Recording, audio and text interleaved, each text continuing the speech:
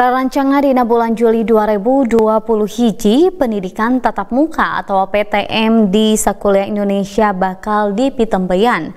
Di Jawa Barat 80 tepika 80 persen tenaga pendidik geus divaksin. Keur ngajamin keamanan siswa nalika PTM dina bulan Juli. Kukituna sawatara aturan dilarapkeun sangkan prak-prakan PTM dipaju kalawan aman.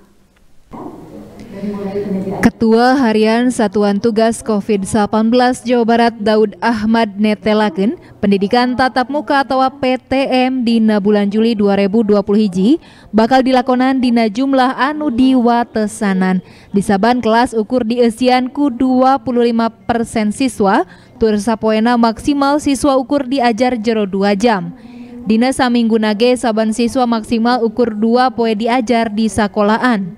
Eta halte dilakonan keur nyinglar sumebarna COVID-19 dina hambalan sakolahan. Dan dalam satu minggu seorang siswa maksimal hanya dua hari melakukan tetap muka.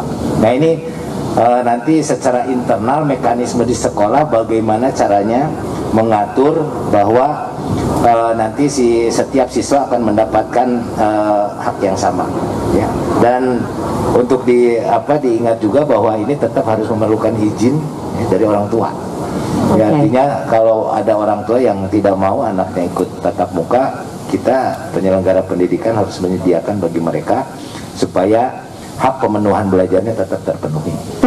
Sajeroning itu, pelaksana tugas Dinas Kesehatan Jawa Barat, Dewi Sartika ngeceskin, salah seji syarat di Pitem Beyanana Pendidikan Tatap Muka atau PTM, nyata sakumna tendaga pendidik gesti vaksin. Di Namprona, tepik ayeuna meh 80 tepika 80 persenan tenaga pendidik ges divaksin. Di pit tembeyanana PTM di Sakolahan G gumantung karena putusan Satgas Wilayah Kecamatan serta kasapukan organisasi guru, siswa serta kolot siswa. Kan untuk uh, tatap muka ini adalah uh, untuk vaksinasi. Jadi vaksinasi uh, pendidik ya, pendidik dan tenaga kependidikan itu semuanya uh, relatif uh, harus divaksinasi begitu ya. Dan alhamdulillah kira-kira uh, 80 sampai 90 kalau Kota Bandung mungkin sudah 90 Cimahi juga gitu ya. Uh, sudah divaksin begitu.